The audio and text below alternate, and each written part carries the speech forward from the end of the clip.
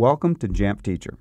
This video series will provide details on using the Jamf Teacher app to extend the classroom functionality for teachers using iPads with their students. Jamf Teacher is a tool to support classroom management with iPads in order to streamline transitions, support authentic digital workflows for in-class assignments, activities, and assessments.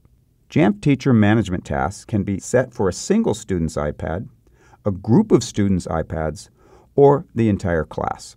Jamf Teacher uses Wi-Fi to communicate to the student iPads, so students don't have to be in the immediate proximity of the teacher.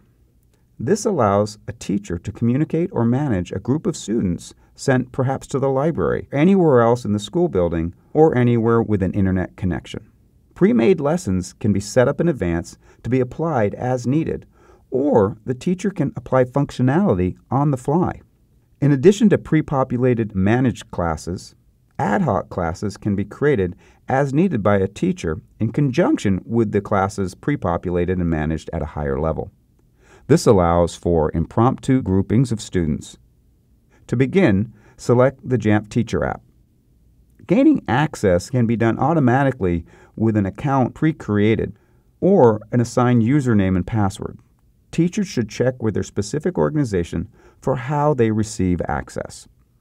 When you open the Jamf Teacher app, you'll see several areas. With frequent updates to the app, you can expect to get notices on new features. In the upper left, you'll see the teacher's name. In the upper right, you have a settings wheel. If you tap it, you'll see some basic information related to the device being used. When you're working within the Teacher app, realize there are several different areas and there's usually more information within each section. Within Resources, you'll find apps and documents. If available, you'll find handy updates. Scrolling down, I have classes. You may only see a handful of classes, even if you have more. If you tap in the white area of that section, it'll expand to show all the classes available. Same within lessons. You may only see a few lessons. If you want to create a new lesson or if you want to access other lessons, just tap anywhere in the white area of that section. Down below, you'll find messages, where the teacher can have conversations with individual students. That's just a quick overview of the Jamf Teacher app. In additional videos, we'll get into all the capabilities.